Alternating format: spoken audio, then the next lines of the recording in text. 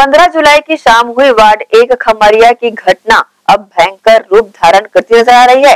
उस दिन वार्ड एक के पार्षद और जोन एक के उप अभियंता के बीच हुई हाथापाई को निगम के तीन कर्मचारी संगठन ने अपना समर्थन देते हुए निगम मुख्यालय के सभागार में बैठक आयोजित कर पार्षद के खिलाफ मोर्चा खोल दिया है और अब कलेक्टर सहित पुलिस अधीक्षक और संभाग आयुक्त को ज्ञापन सौंपकर पार्षद के निलंबन की मांग करने का मन बना चुका है।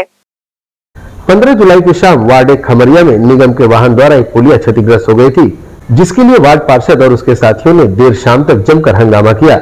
इसी बीच नगर पालिक निगम भिलाई जोन एक के उप अभियंता के साथ मारपीट एवं उनके परिवार के साथ अभद्र व्यवहार करने की घटना सामने आई, जिसके बाद निगम के कर्मचारियों में काफ़ी आक्रोश देखा जा रहा है। इसी परिप्रेक्ष्य में निगम भिलाई अंतर्गत तीन कर्मचारी संगठनों द्वारा निगम मुख्यालय सभागार में एक बैठक आहूत की गई, जिसमें यह फैसला लिया गया कि इस घटना की पुनरावृत्ति होने से निगम के कर्मचारियों में एक भय का वातावरण बन सकता है, जिसे देखते हुए इस पर कार्रवाई की जानी चाहिए। इसे लेकर स्वायत्त शासी कर्मचारी संघ, कर्मचारी कांग्रेस एवं सेवानिवृत्त कर्मचारी संघ के संयुक्त तत्वाधान में उप अभियंता आलोक पसीने के साथ हुई घटना की निंदा करते हुए उनके समर्थन में सामने आकर पहले पुलिस विभाग में एफआईआर दर्ज कराई गई। उसके बाद निगम आयुक्त सहित निगम महापौर नीरज पाल को भी ज्ञापन सौंपकर उचित कार्रवाई की मांग की गई। और इसके बाद ये सभी कलेक्ट्रेट रवाना हुए। नेहरू नगर जोन वन नगर पालिक निगम भिलाई के कार्यालय में पदस्थ प्रभारी सहायक अभियंता आलोक पसीने जी 15 तारीख की रात को 9 बजे, उनको एक शिकायत मिली कि यहाँ खमरिया रोड जुनवानी में एक पुलिया टूट गई है। क्योंकि वो आपदा प्रबंधन जैसे महत्वपूर्ण कार्य में संलग्न है, शिकायत को प्राप्त करते ही वो सीधा वहाँ मौका स्थल निरीक्षण करने पहुँचे। तो उस क्षेत्र के वार्ड पार्षद योगेश साहू जी और उसके कुछ साथी लोग, उनके साथ मिल के गाली गलौज पहले गाली गलौज किए, उसके बाद धक्का मुक्की के साथ मारपीट पर उतारू हो गए। जिसका आज कर्मचारी संघ ने अभियंताओं के साथ एक मीटिंग करके पुरजोर विरोध करने का निर्णय लिया है और इस संदर्भ में कर्मचारी संघ, सभी कर्मचारी संघ एक साथ मिलकर अधिकारीगण माननीय आयुक्त महोदय से अनुनय पत्र देंगे कि उस ऐसे कुकृत्य करने वाले पार्षद को उनके पद से हटाया जाए और क्योंकि प्राथमिकी दर्ज की जा चुकी है और उससे गिरफ्तारी की मांग करेगी। पंद्रह तारीख को रात में हमारे जोन एक के जो प्रभारी सहायक अभियंता हैं आलोक पसीने जी, वो कोई एक पार्षद वहाँ है, उनकी सूचना पर वो वहाँ पहुँचे, यहाँ पुलिया टूट गई थी। तो वो अपने सुपरवाइजर के साथ पहुँचे रात में नौ बजे। तो वहाँ पे जब वो देख रहे थे तो उनके साथ में एक दुर्भाग्यजनक घटना घटित हुई। वहाँ के जो पार्षद हैं, कोई साहू करके हैं, और उनके साथ में उनके साथीगण आकर के उन लोगों ने साहसी कार्य में व्यवधान डाला। उनके साथ में गाली गलौज गाली गलौज किया गया, जान से मारने की धमकी दी गई, जैसे कि एफआईआर में आया है, और वो घबरा करके वो फिर वहाँ से भागी। और आज, जब 16 तारीख को बड़ी मुश्किल से जब एफआईआर दर्ज हुई, बहुत सारा अप्रोच लगाना पड़ा तब एफ़ दर्ज हुई। तो आज पूरे अधिकारी कर्मचारी मीटिंग हॉल में बैठे हैं, और कमिश्नर साहब को हमारे आयुक्त महोदय को और संभागायुक्त महोदय को, कलेक्टर साहब को और एस साहब को हम लोग ज्ञापन देने की तैयारी कर रहे हैं। और यह बहुत ही बड़ी दुर्भाग्यजनक घटना है। इसमें आपदा प्रबंध जैसे काम और भी कई प्रकार के नगर निगम के अधिकारी, कर्मचारी चौबीस घंटे काम में समय रहते हैं। ऐसे में कर्मचारी और अधिकारियों में दहशत का माहौल है कि इतने कभी भी रात में आदमी अपने बिना सुरक्षा के चले जाता है देखने के लिए। और इस प्रकार से यदि हमला होगी तो इसकी पूरी कर्मचारी संघ जो है गंभीर निंदा करता है और हम चाहते हैं कि पार्षद की पार्षदी उसकी जो नियमानुसार कार्रवाई हो, संभागायुक्त उसको बर्खास्त करें और आने वाले समय में चुनाव से लड़ना, लड़ने के लिए उसको बाहर करें। पूर्व में भी ऐसी एक बार घटना हुई थी तो जिसमें पार्षदों को पार्षद पद से हटाया भी गया था और चुनाव लड़ने से उनको अलग भी पृथक भी किया गया था। तो हमारी ये शासन प्रशासन से मांग है और अभी हम लोग ज्ञापन देने कमिश्नर के साथ, साहब के पास जाएँगे संभावित कलेक्टर महोदय के पास जाएँगे। सब एकजुट हैं, सारे कर्मचारी अधिकारी। कहीं कोई काम नहीं हो रहा, सब मीटिंग हमें बैठ के पत्र बना रहे हैं। ना हमको दूरभाष पर पता चली कि पंद्रह तारीख को आलोक पसीने जो सहायक अभियंता हैं जोन वन में, उनको फ़ोन आया जुनवानी खमरिया से कि यहाँ कोई पुलिया वगैरह टूट गई है। तो उसको निरीक्षण करने के जब वहाँ वो गए तो वहाँ के पार्षद के द्वारा और उसके साथियों के द्वारा नशे की हालत में गाली गलौज और मारपीट की गई। जो वहाँ से वो गाड़ी वगैरह छोड़ के अपने भागे वहाँ से उसने उन्होंने फिर अपने ई महोदय को संजय शर्मा साहब को फ़ोन किया कमिश्नर साहब को फ़ोन किया जिसके विरोध में आज पूरे अभियंता संघ जिसमें अधीक्षण अभियंता से लेकर सहायक अभियंता तक उसके अंतर तक सब और तीनों यूनियन के हम लोग पदाधिकारी एकत्रित हुए जिसमें हम लोग ने एक पत्र बना, बना बनाया गया है।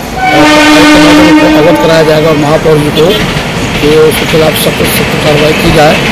और जैसा कि एक्ट में धारा उन्नीस में लिखा है कोई कोई भी जनप्रतिनिधि किसी भी अधिकारी कर्मचारी से सीधी वार्ता नहीं करेगा उसका पालन करवाया जाए उसकी भी मांग करेंगे ताकि भविष्य में इससे घटना न घटे। बर्खास्तगी की भी मांग है क्या? हाँ बर्खास्तगी की मांग है। जैसा नगर निगम एक्ट में है कि अगर कोई भी जनप्रतिनिधि, किसी अधिकारी, कर्मचारी की के साथ में दुर्व्यवहार करता है, मारपीट करता है, कार्य बाधा डालता है तो उसके लिए बर्खास्त के लिए संभायुक्त को और नगर निकाय मंत्री को पत्राचार किया जाएगा। और हमारी मांग यही है कि जल्द से जल्द कार्रवाई हो। उसमें हम लोग को अभी बैठक में निर्धारित करेंगे कि इतने घंटे के अंदर उसको गिरफ़्तार किया जाए और तत्काल उसकी बर्खास्तगी की जाए। नहीं तो आगे अगर नहीं किया जाता है तो आगे हम लोग अपनी रणनीति बना के अगर निगम को पूरा बंद करना पड़ेगा सभी जोन को बंद करना पड़ेगा तो उसके लिए भी विचार विमर्श किया जाएगा। तीनों कर्मचारी संगठनों सहित पीड़ित उप अभियंता आलोक पसीने भी निगम महापौर नीरज पार से मिलने गए जहाँ उन्होंने ज्ञापन सौंपकर उचित कार्रवाई की मांग की जिस पर महापौर नीरज पाल ने अपनी प्रतिक्रिया कुछ इस प्रकार दी है। साथ ही उप अभियंता आलोक पसीने ने भी अपने साथ हुए कृत्य को मीडिया के समक्ष साझा किया है। घटना ऐसी थी कि रात में करीब आठ बजे करीब मेरे पास महिला एवं बाल विकास अधिकारी, मैडम पूजा पिल्ली मैडम का फ़ोन आया कि हमारी गाड़ी को यहाँ पे एक की पार्षद ने रोक लिया है।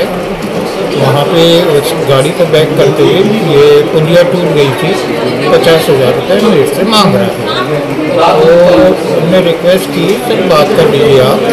उनसे बात कर लीजिए मैं योगेश साहू को फ़ोन लगाया कि क्या बात है पुलिया वगैरह का क्या है? तो बोले कि आप आ जाइए और देख लीजिए पुलिया कैसे टूटी, क्या टूटी है।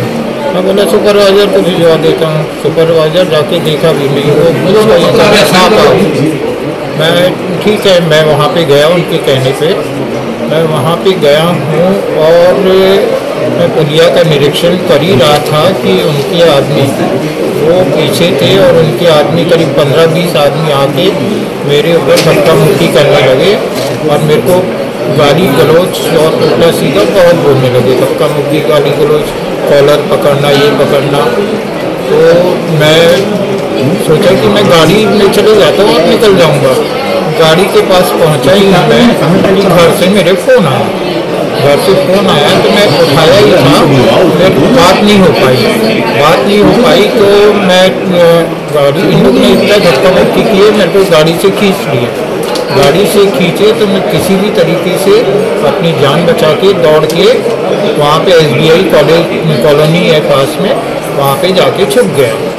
उसके बाद मेरे अपने अधिकारी पी साहब और जोन कमिश्नर को मैं बताया, ऐसी ऐसी बात है। ये जब ये घर में ये पता चला, अब ये क्या है, मोबाइल में मेरी बात नहीं हो पाई थी। तो घर वालों को एकदम वो लगा कि क्या हो गया, क्या नहीं हो गया करके। एकदम भारी आवाज़ आ रही थी। तो भी हड़बड़ा के यहाँ पे आ गए।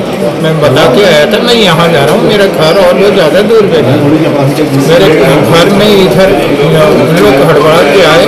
मेरा बेटा उससे पार्षद से पूछा, कहाँ है पापा, कहाँ है? तो दिख नहीं रहे हैं, क्या हो गया, क्या नहीं हुआ करके। और मेरी बेटी और वाइफ भी वहाँ पे गए कि क्या हो गया करके। साथ इतना मिस बिहेव गाली बकना ये बकना उसके आदमी और ये और वो, भारी उसके, वो भी फिर वो बचा के जान बचा के वो भी भागे। फिर मैं उनको आगे की तरफ़ बुला के वो किया कि हम लोग आगे हैं। फिर आगे बुला के हम लोग घूम के फिर थाने में स्मृति नगर थाने में आके वहाँ पे अपन ने रिपोर्ट करना अधिकारियों को बुला के, अपने अधिकारी, हमारे साहब आ अभी क्या चाह रहे हैं, सर आप? हम ये चाह रहे हैं कि उनके ऊपर बिल्कुल एक्शन होना चाहिए ताकि हमारे जो कर्मचारी आगे भी जाए तो वो भी सुरक्षित रहे। नहीं तो अगर इस प्रकार की वारदात होती रहेगी तो हम लोग का सुरक्षित रहेंगे। हम लोग को क्या है, अभी बरसात का समय बाढ़ कहीं कहीं भी आएगी, कुछ भी आएगी तो हम लोग को तो जाना है। पब्लिक को हम लोग को फेस करना है। अगर इस प्रकार की रहेगा तो हम कौन कर पाएगा आलोक पसीने जो हमारे यहाँ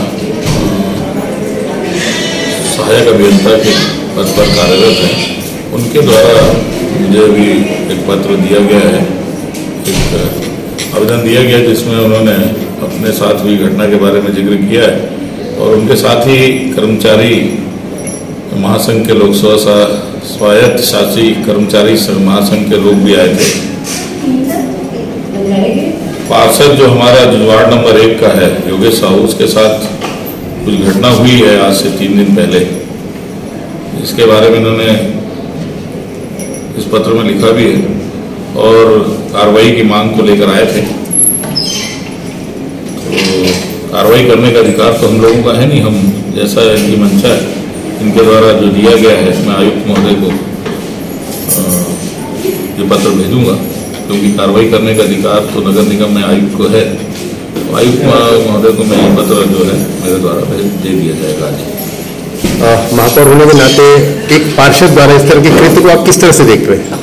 देखिए मैं तो इसमें इतना ही बोलना चाहता हूँ कि नगर निगम की जो संरचना है वो नगर निगम क्षेत्र के विकास को लेकर की गई है शासन के द्वारा।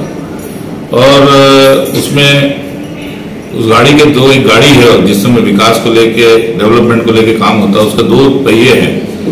एक तरफ़ अधिकारी कर्मचारी गण है और एक तरफ़ जनप्रतिनिधि जो पार्षद के रूप में हो चाहे महापौर के रूप में दोनों का बैलेंस ज़रूरी है। अगर दोनों के बीच में अगर कोई मतभेद है या कोई ऐसी बात आ रही है तो वो निश्चित रूप से उसका असर ज़रूर शहर को भी, भी उसका नुकसान होता है। ऐसी घटना नहीं होनी चाहिए।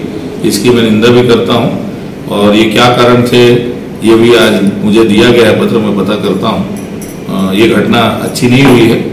इसमें मैं इसकी जानकारी लेके फिर आगे आपको बताऊँगा। 15 जुलाई को हुई घटना काफ़ी निंदनीय है, जिसके लिए महापौर नीरज पाल ने भी कहा है कि निगम के अधिकारी, कर्मचारी और निगम क्षेत्र के जनप्रतिनिधि एक वाहन के दो पहिए होते हैं, जिसका आपस में परस्पर सहयोग बनाकर चलना अति आवश्यक है। परंतु पार्षद द्वारा किए गए इस कृत्य से निगम के कर्मचारियों में काफ़ी आक्रोश देखने को मिल रहा है। देखना होगा कि इन कर्मचारियों का आक्रोश इस घटना को किस परिणाम तक पहुंचाता है। ग्रैंड एशियन न्यूज़ के लिए भिलाई से संतोष शर्मा की रिपोर्ट।